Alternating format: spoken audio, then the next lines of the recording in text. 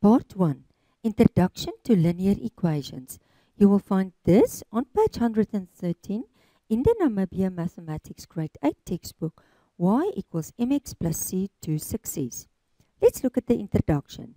In primary school, we came across mathematical sentences such as a square plus 4 equals 9, where we needed to fill in the square with any possible number to make the sentence true.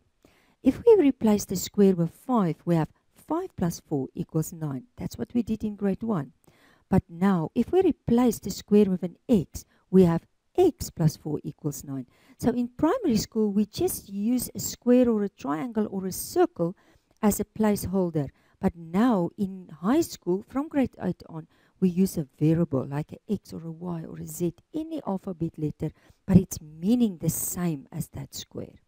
So x plus 4 equals 9 is called an equation in one unknown x. So there's only one variable.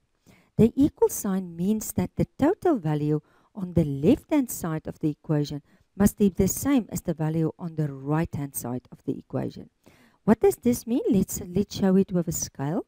So if there is 1, 2, 3, 4, 5, there's the 5, 1, 2, 3, 4, that must, then I must put 9 on the other side. 1, 2, 3, 4, 5, 6, 7, 8, 9. So that the scale can balance. That it's not going up or down, it's on level, horizontal level. Because there's equal amount on both sides. And that's what that equal is meaning.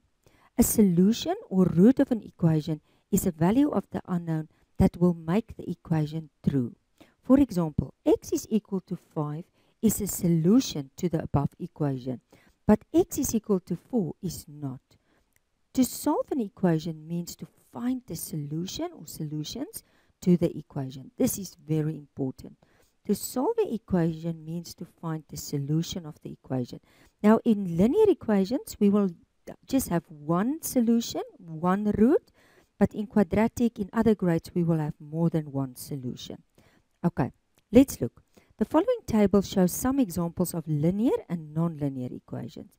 Now, linear equations, it's when the index of the variable is just 1, positive 1. So if you look here, it's just positive 1. Here, positive 1. Here, positive 1. If there stands nothing, we know it's positive 1. Here, the y is positive 1, the x is positive 1. The x is positive 1, the y is positive 1. If we must look, you see that the x is in the numerator, not in the denominator. So if it's in the numerator, it will be positive 1. But let's look at nonlinear equations. Do you see? It's x to the power of 2. It's not positive 1 anymore. Then it's not linear. x to the power of 3. It's not positive 1, so it's not linear. This one, later grades, you will see that this is, if we take it up to the numerator, it will be x to the power negative 1 and then it's not linear. So the x to the power 1 must not be in the denominator. It must be in the numerator to be a linear equation. In later grades, you will see that this x is to the power a half, and it's not positive 1, and then it's not a linear equation. It's a non-linear equation. So maybe we can just mark here. In this case, I said if we take it to the numerator, it will be negative 1, then it's not linear. And here I said in later grades you will see we take it out of the root, it will be an index of a half. And that is also not a whole number positive one, and that's why it's non-linear equations.